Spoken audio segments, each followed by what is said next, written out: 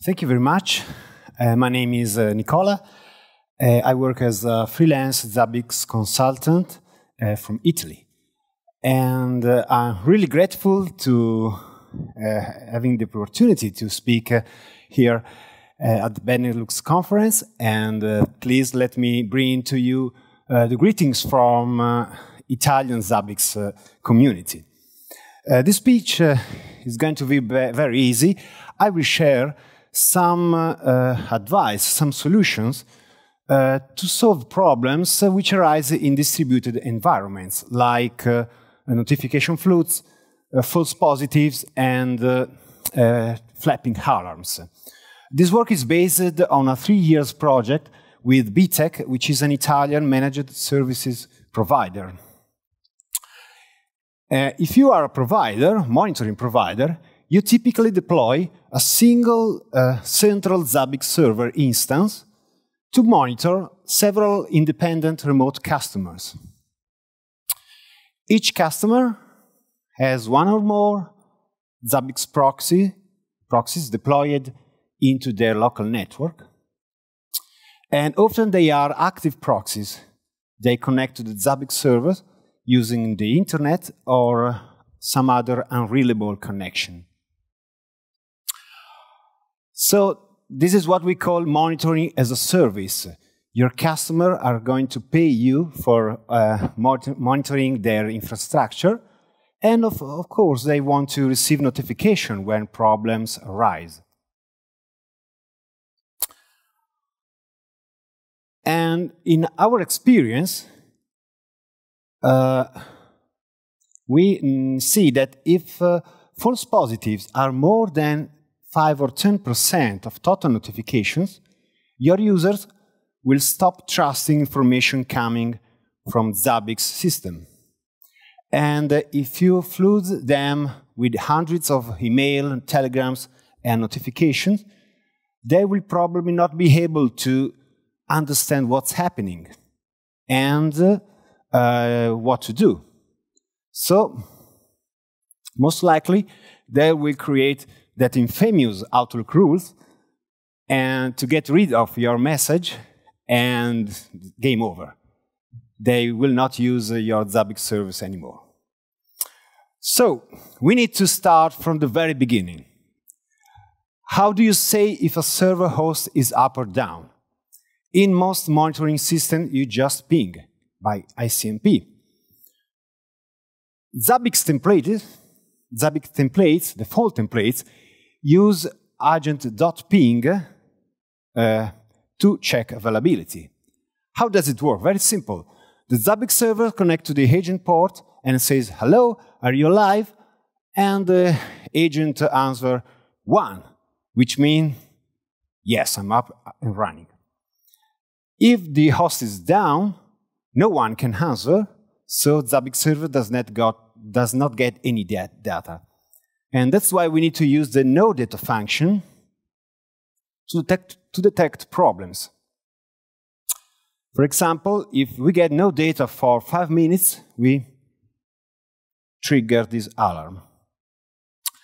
This is quite useful because uh, this trigger can catch a lot of problematic situations. For example, if a host is down, but also if host is up, but agent, agent is down, we get no data. If agent is unresponsive, we get no data. So we um, it's better than pinging. It catches a lot of problems with one single check, but it doesn't tell what problem we have. So how can we know what's happening? We need to manually investigate, of course. And can we ask Zabbix to do it for us? Uh, before answering to this question, please have a look to this, uh, to this scenario when a Zabbix proxy is monitoring several agents and suddenly the Zabbix proxy goes down. Of course, the Zabbix server, which is uh, somewhere in the left side, does not get data from the agents, so uh, a lot of triggers is going to activate. If you have hundreds or thousands of, uh, of agents monitored by that proxies, I'm sure you know what's happening. Have you ever seen someone at a restaurant during a romantic dinner uh, trying to shut up their mobile phone with a girl getting nervous and nervous? Uh, this is a notification flood. What's the problem here? The problem is that no data function also triggers upon known agent problems, like a proxy is going down, like a Zabbix server connectivity going down, or also if Zabbix server has performance issues. For example, it cannot insert data into its database, so he, he has not data about all the agents. Of course, there are a lot of solutions to this. I would uh, not recommending uh, I would not recommend creating uh, triggers dependency, which uh, require a lot of manual work. Uh, there is a couple of uh, Zabbix feature requests, which are very interesting in the near future. And of course, you can have fun with event correlation if you want. But this problem looks really simple. Why do we have to deal with complex solutions? Uh, is, can we make things easier? Yes, with, with Zabbix we can. The idea is using, using multiple items to determine what's happening. For example, I can use a ICMP ping item, a TCP connection to the agent port, and of course, our old agent ping item. By combining information coming from these three items, we can say what's happening. For example, if ping is down and TCP connection is down, we may say that host is unreachable. If the ping is up but TCP connection is down, so host is up but agent service is down or blocked by a firewall, we don't know, Uh, another situation is uh, ping is up, agent port is up, but we get no data from agent ping. In this, in this situation, the system, the operating system is probably overloaded, so the Zabbix agent cannot answer to our requests. If we get no data for any items, we can't say anything, actually. But probably this is not a host issue, it's a monitoring issue. Oh, this is a, this is a wonderful situation for every administrator. Everything is up. But also, please note that if uh, this situation, if ping is down, but we can connect to the TCP agent port, uh, this is quite enough. The os is, uh, is up. So, uh, this is the slot machine template, and uh, having separating triggers allow us to send notification to the right team. For example, the networking team, the monitoring team, or the system administrator.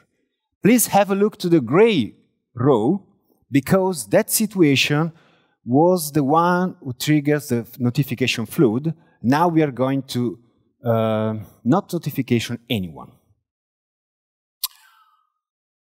Let's have a look in the details to the triggers, but they are very simple.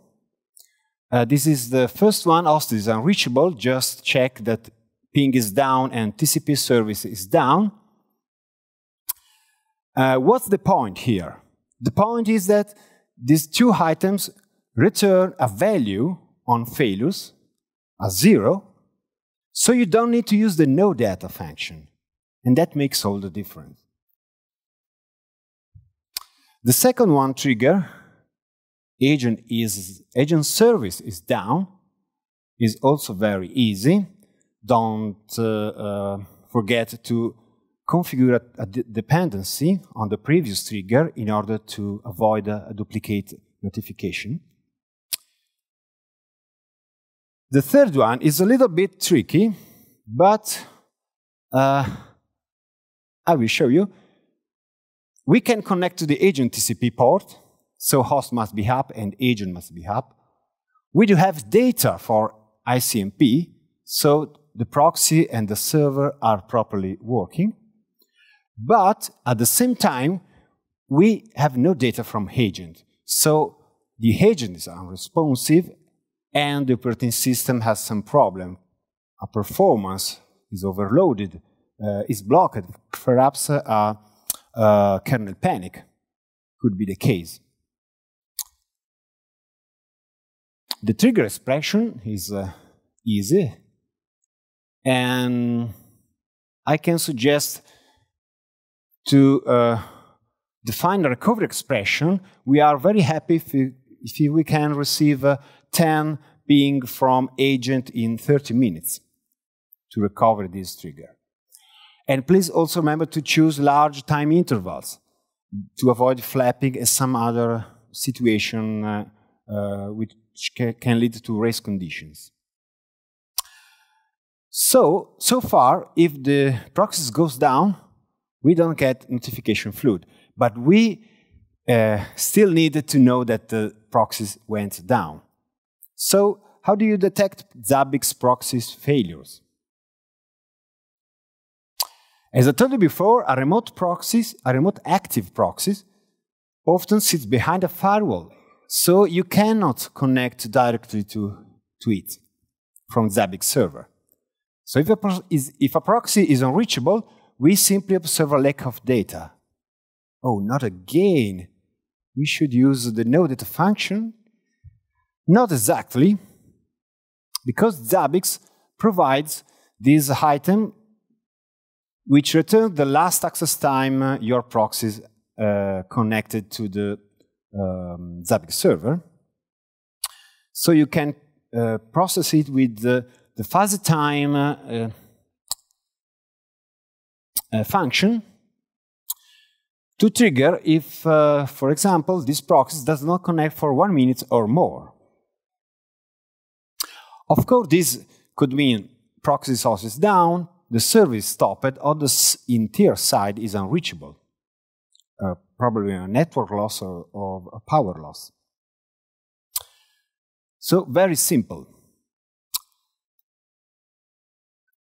Always remember to uh, follow best practice. Don't forget to keep the proxy itself monitored with Zabbix Agent, of course. Remember the last access requires the proxy name. I recommend to use a, a macro here.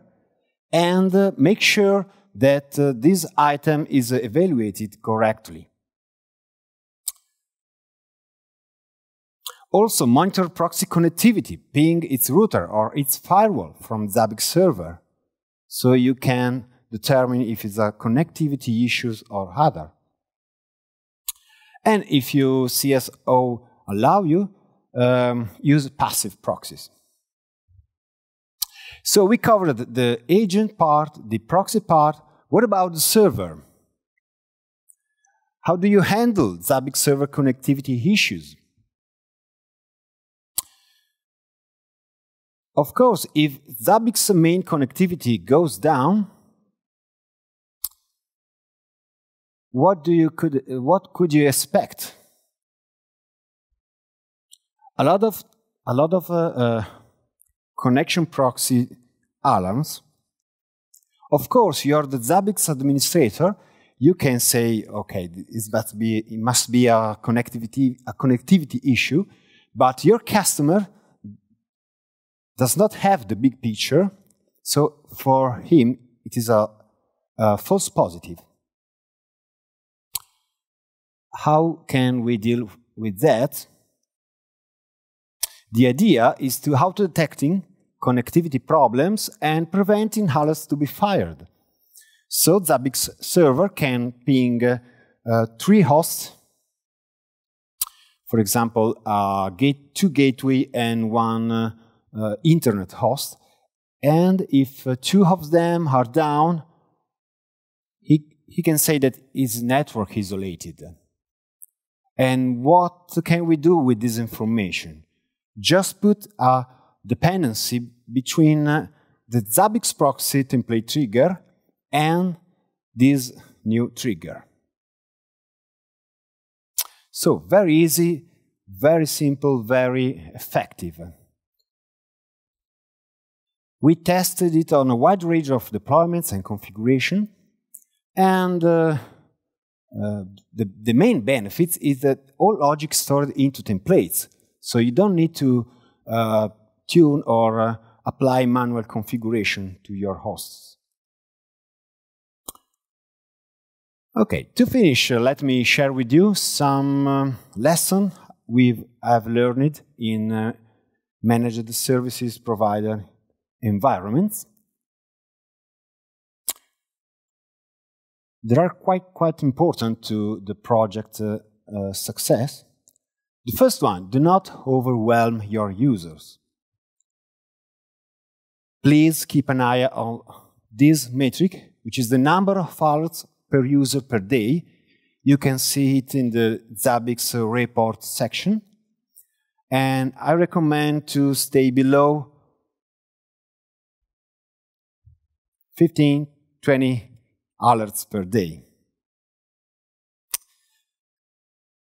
The second one, keep your user informed about changes in your monitoring environment because they expect a predictable behavior.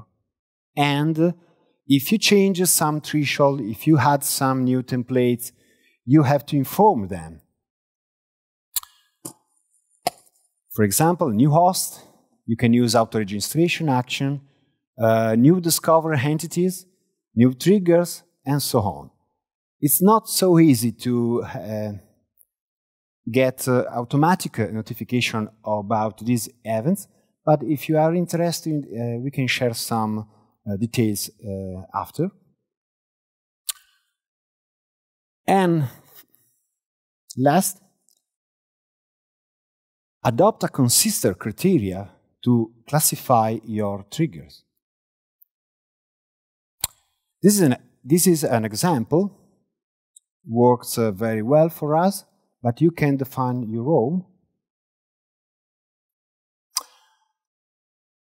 For example, if uh, my trigger detects internal monitor event, I will classify it with as not classified. If I want to track uh, uh, non-problem event, which uh, I, I, could be interested in, this is uh, information severity. Warning is uh, to uh, track unusual condition, which does not have impact on user services. If there, there is a user service with imminent failure, which is going to fail in the in the very next future, I will classify as average. If the service has already failed, choose high severity. And we reserved the disaster severity for triggers which uh, um, uh, detect potential data loss, like a database system running out of space or something like that. And so you can associate also the expected response time for, from your team uh, basing on uh, the, the severity you define it. Okay. That's all. Thank you very much uh, for your attention. Any questions?